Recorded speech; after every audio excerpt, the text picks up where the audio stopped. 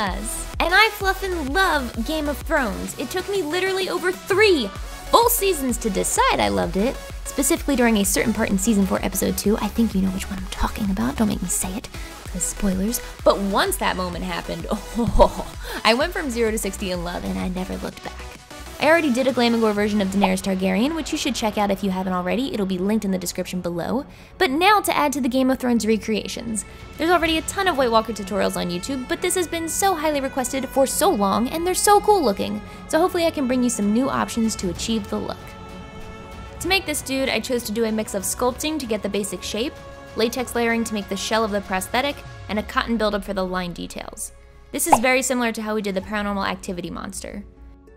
This method of recreating a White Walker is fairly inexpensive and simple, but it is extremely time consuming. The whole thing can be directly sculpted onto your face with cotton and latex, very similarly to how I did this build up straight onto the face. But that would take several very uncomfortable hours and would be more difficult to control the shape and details. Doing it off of your face for the most time consuming parts is your best option overall, if possible. Because of that, and since I do already have a life cast, I opted to first sculpt the basic structure of the face in clay on the life cast.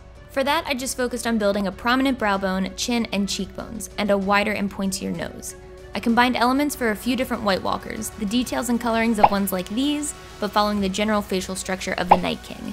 Use lots of reference pictures and as many angles as you can find. From there, I'm brushing over the whole thing with 99% alcohol on a chip brush to smooth the clay down a bit, and then I'm covering the sculpt in an even layer of liquid latex.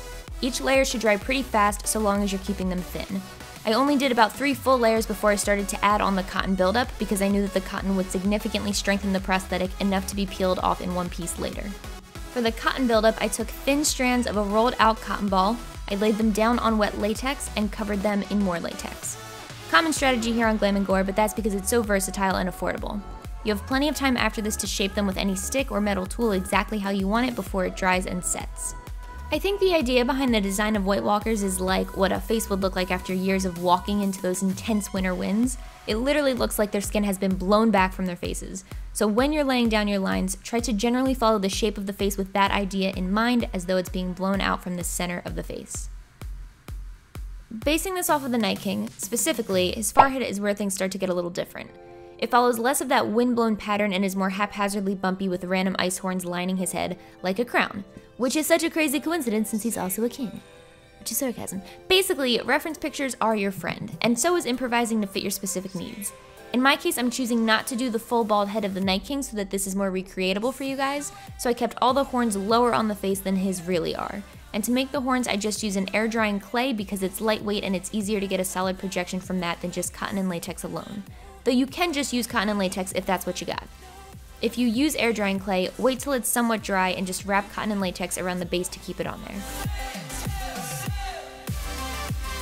When you're done with the whole face, give it a few hours. Latex goes from white to yellow when dry, and at this point it should be pretty solid to the touch.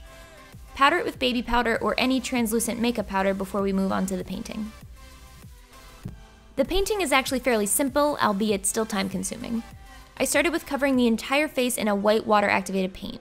You could also use cream paints, grease paints, or alcohol activated paints. Then I used a light wash of a little bit of black with a little bit of blue on my brush to get this grayish color that has a hint of blue. I used a small fan brush to lay that color in every single depression between the lines. Usually, I might just get that color on my brush with a lot of water and let the color run over the top of the whole sculpt, and then the darker color would naturally seep into those lines, but I suggest you avoid that here since you want to keep the white as white as possible and not muddy it with the darker blue-gray color. Even doing it this way, it was hard to avoid that and I went over the highlight areas with white again several times to keep that contrast stark. That's the second tutorial in a row that I've made that joke, except this time it's way less random.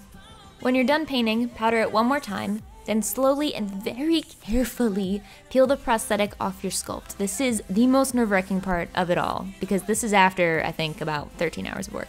You can powder underneath it as you go to remove some of the tackiness of the latex. And voila! The most time-consuming part is over, and now we can apply it with ease.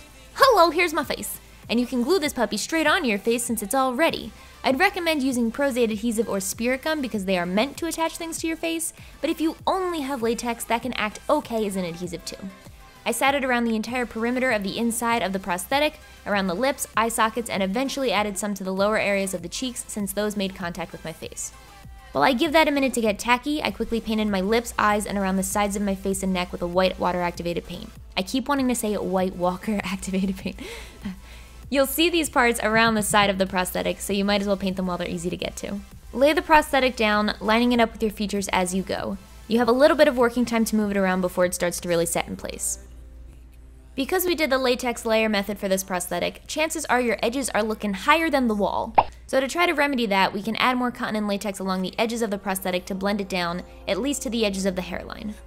This is just like what we did with the life cast, adding a layer of latex first, setting cotton on top, and saturating that in more latex, except that this is much harder to see when you're doing it on yourself. And it gets a little scary because you get into baby hair territory. To blend the neck into the rest of the face, I laid latex down all over and add a few strands of cotton vertically. Cover those in latex, let it all dry, and then you're ready to paint. To paint, you'll do the same exact thing you did during the life cast portion. White all over, then that gray-blue in the deeper areas. Go up in a cloud of smoke, also known as powdering your face and neck. Turn into your friend Valentina for a hot second. Find yourself a direwolf, maybe a mini one if you live in an apartment. Turn back into a White Walker and get dressed to go out. Or if you want to just stay in and chill, you could do that too. Badumsh. This week's video is brought to you by Audible, which is amazing because it helps so much with these more elaborate looks, so thank you Audible for teaming up with the zombies. I already fluff and love and use the heck out of this service. If you need more of a Game of Thrones fix until the final season, you can download and own the books Game of Thrones came from, A Song of Ice and Fire by George R. R. Martin. I usually use Audible to download books that help me with anxiety, which, by the way, there's a ton and they've been super helpful to me. But you can download any kind of book of your choosing. They have every genre you can imagine, and you can download one for free with a 30-day trial membership by signing up at www.audible.com slash glamandgore. Memberships include one free audiobook a month, and you can keep the audiobooks whether you continue their service or not, because unlike a streaming service, once you download the books, you own them. You can also swap out any books you don't like with their great listen guarantee. And I, I really do think it's a great service, you guys. I pop on an audiobook all the time and I do stuff around the house and I soak in all the knowledge. So if you zombies are interested in that trial, like I said, you can head to audible.com slash glamandgore. That's it for this week. If you liked this video, bend the knee and subscribe to my channel, and I'll see you next week for more Halloween 2017 festivities. Okay, cool. We'll be waiting outside. You can't miss us. Sorry about that. Oh, no problem at all. How you doing, White Walker? Great, how you doing? Oh. What's your name? My name's Sam. Hi, Sam. Dude, he's an LA pizza delivery guy. He's seen a lot worse. Wait, he didn't give us our soda.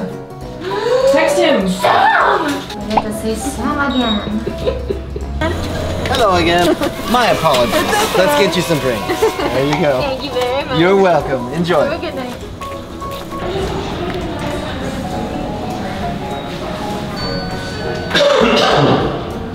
Just freaking out somebody? Myself. Yourself? Yeah.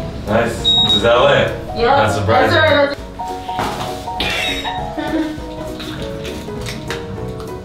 Going down. No, no, no, no, no, no, no, oh no, we're gonna have to see people. No, no, we're going down again. hi, what's up?